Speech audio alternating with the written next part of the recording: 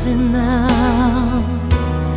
Maybe I dream too much, but when I think of you, I long to feel your touch, to whisper in your ear words that are old as time, words only you would hear.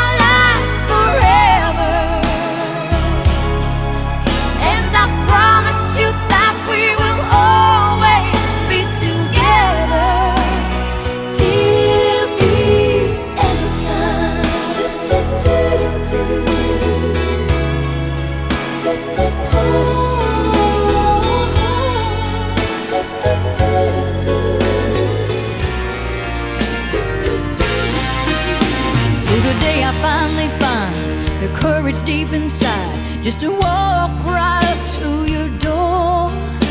But my body can't move when I finally get to it like a thousand times before. Then without